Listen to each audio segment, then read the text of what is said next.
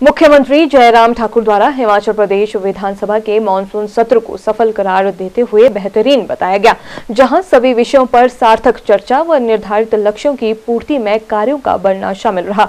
वहीं विपक्ष द्वारा विधानसभा सत्र के अंतिम दिन अनुपस्थिति व विधानसभा अध्यक्ष को हटाने के मामले को दुर्भाग्यपूर्ण व तर्कहीन करार दिया गया।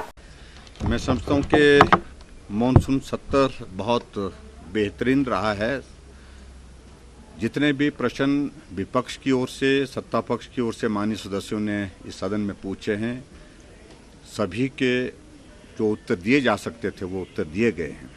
सार्थक चर्चा हुई है और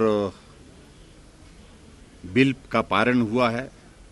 और इसके अतिरिक्त मैं ये भी मैं कहना चाहूँगा कि हिमाचल प्रदेश विधानसभा में मॉनसून सत्र के रूप में शायद ये सबसे लंबा दस दिन का सत्र हुआ। आमतौर पर मानसून सत्र पाँच छः दिन का होता था। इससे ज़्यादा नहीं होता था कि हम ज़्यादा समय के के लिए बैठें, ज़्यादा विषयों पर हम चर्चा कर सकें।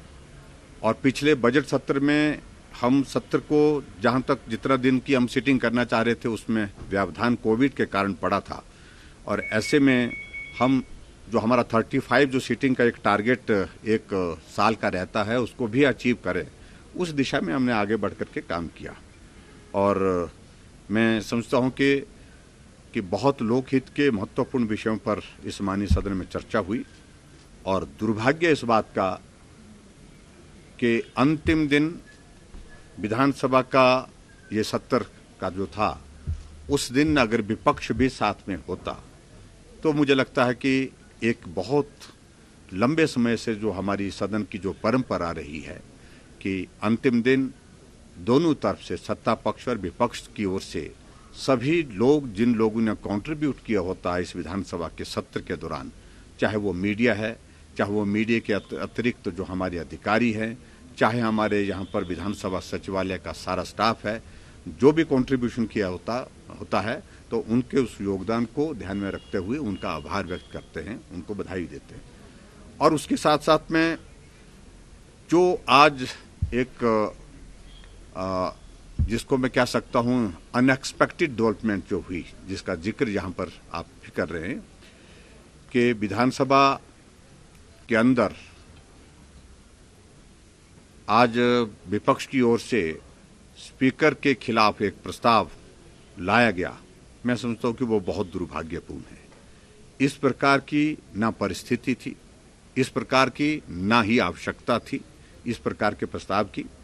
और ऐसी सूरत में सबसे बड़ी बात तो उनको इस बात को भी सोचना चाहिए, देखना चाहिए कि टेक्निकली ये उनका प्रस्ताव मेंटेनेबल है ही नहीं। सदस्य, सदस्यों की संख्या के हिसाब से वो पूर्ति नहीं करता है। और उसके साथ साथ में जो विधानसभा के अंदर ऐसे विषय पर प्रस्ताव देना, जिसके लिए एक टाइम बाउंड एक टाइम एक लिमिट है, निर्धारित है, नियम के अनुसार, वो उसको भी पूरा नहीं करता है। तो ऐसी सूरत में अपना प्रयास नहीं बनाना चाहिए था उनको, मज़ाक नहीं बनाना चाहिए था। ये मैं समझता हूँ कि एक अच्छी परंपरा उनने शुरू नहीं की इससे ज़्यादा गंभीर विषयों पर चर्चा होती रही, इससे ज़्यादा गंभीर परिस्थितियाँ सदन के अंदर होती रही है। लेकिन विधानसभा के स्पीकर के अगेंस्ट इस प्रकार का प्रस्ताव बहुत ही कम, बहुत ही कम जो है वो लाया गया है विपक्ष के द्वारा। तो ये जो आज जो उनने वो करने की कोशिश की तो मैं समझता हूँ कि ये आवश्यक भी नहीं था और मैं इसकी निंदा करता हूँ। Bureau report, city channel, Shimla.